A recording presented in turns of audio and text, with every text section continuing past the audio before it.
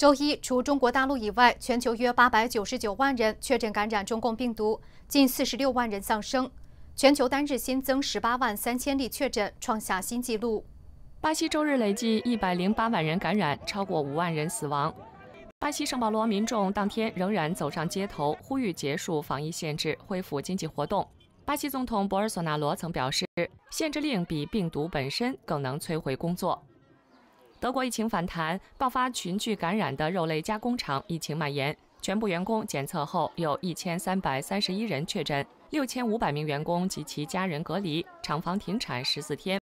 德国周日新增六百八十七例，全国超过十九万人感染。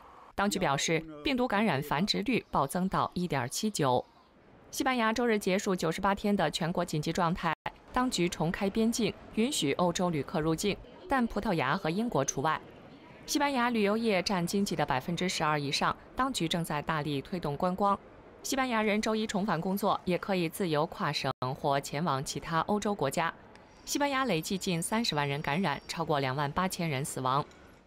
法国周日新增七人死亡，二百八十四人确诊，疫情逐渐趋缓。周一，十五岁以下所有学童都返校上课。法国大臣布兰克表示，封锁对教育界是一场全球灾难。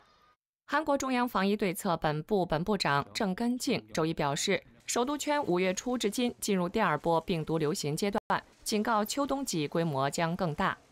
郑根敬强调，除非有疫苗和有效药剂，不然很难控制疫情。呼吁民众自行戴口罩、勤洗手。